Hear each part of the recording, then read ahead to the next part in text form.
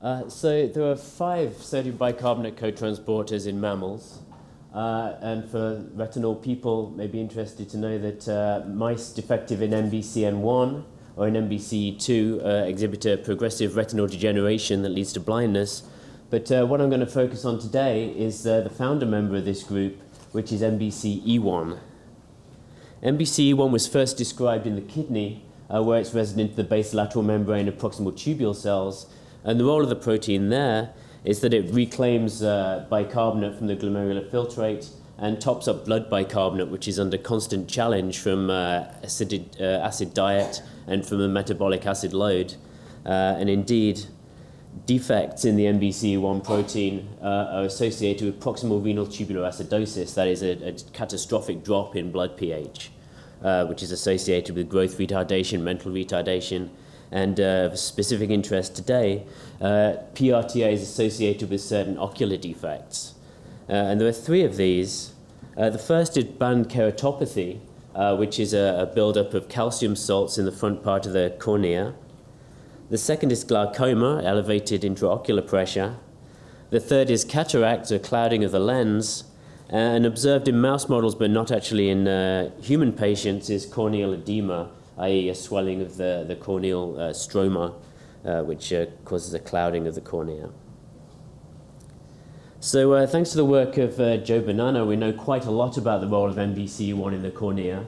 we know that it's expressed in the basolateral membrane, and it forms part of the so called bicarbonate pump, which is involved in constantly reclaiming solutes and water from the corneal stroma, preventing it from swelling and distending the transparent ordered array of collagen in the matrix.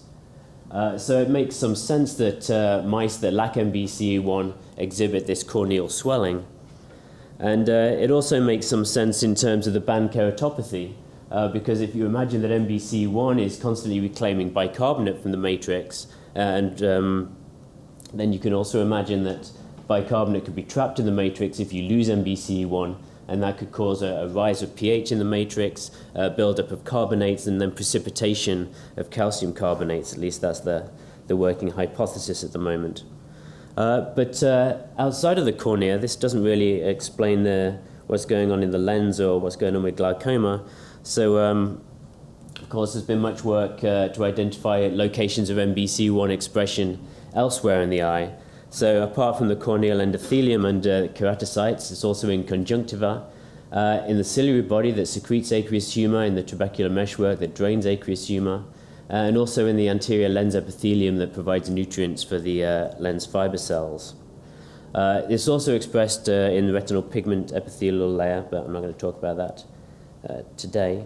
Um, so apart from the actual distribution of NBC1 through the eye, very little is known about its role outside of the cornea. Uh, and an interesting uh, observation that uh, hadn't really been realized until all the, uh, the uh, uh, medical papers had been kind of synthesized together is that not all individuals with NBC1 mutations exhibit all three of these eye defects. So let's take a look at these mutations. This is the NBC1 molecule represented as a polypeptide string that's threaded through the membrane multiple times.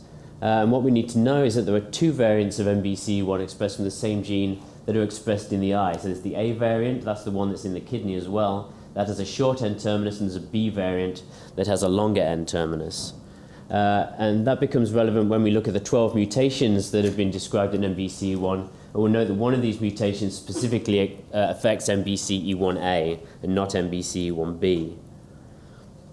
So of these 12 mutations, eight are associated with all three of these eye defects. Uh, yet there's uh, this mutation here is uh, associated specifically with glaucoma. There are two mutations that cluster in the third transmembrane helix that are associated with everything except glaucoma. And there's a fourth mutation out uh, towards the C terminus of the protein that's associated with everything except band keratopathy. Uh, so the question I was interested in asking is what can we learn from these genotype-phenotype correlations about the role of NBC1 in the eye, uh, both in health and disease states? So these are the correlations uh, just tabulated out here with the actual uh, names of the mutations. Uh, so we're going to be looking at the T485S, the R881C, and the A799V uh, as an example of one of the eight that causes all three of the ocular pathologies. And there are four possible causes that one could imagine uh, of these uh, pathologies. They could be secondary to the whole body acidosis. They could one, one of these uh, ocular defects could be secondary to another of the ocular defects. They could be caused by NBC1 mutant misfolding, which could cause cellular apoptosis in key cell layers, or it could be due to loss of a physiological function of NBCe1.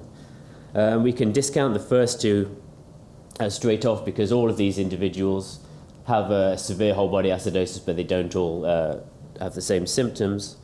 Uh, and at least in this sampling, there seems to be no linkage between any two of the uh, phenotypes. So, um, being a, a, kidney lab primarily where I'm working, uh, we've already looked at these mutations from the point of view of the molecular pathology underlying the renal tubular acidosis. So, what I'm going to do now is revisit that data in light of the eye phenotypes and see what we can learn from that. So, um, first off, we looked at the ability of these mutants to traffic in polarized epithelia. And we used kidney cells and we used the uh, kidney variant, uh, NBCe1A. And here we see uh, the wild type protein localizing nicely to the basolateral aspect of uh, polarized cells where it should be. And then we will look at the mutants. We find that uh, one of the mutants traffics perfectly normally, uh, whereas two of the mutants are accumulated in intracellular compartments and don't make it out to the plasma membrane. And uh, co-localization I'm not showing today suggests that this is mostly endoplasmic reticulum.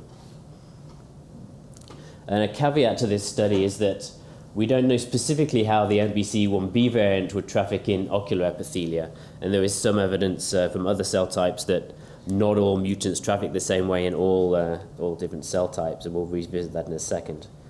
Uh, our functional assay is uh, we would take frog oocyte, that is an unfertilized egg.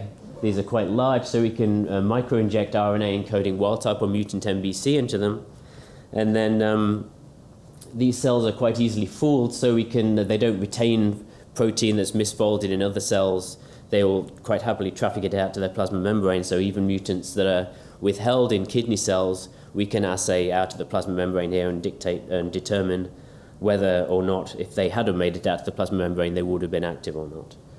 Uh, and our assay, uh, because these cells are quite large, we can impel them with all sorts of microelectrodes. I won't go into that any further, but uh, suffice to say that we have measurements of NBC activity, and this is a slope conductance based on the fact that transporter carries net negative charge.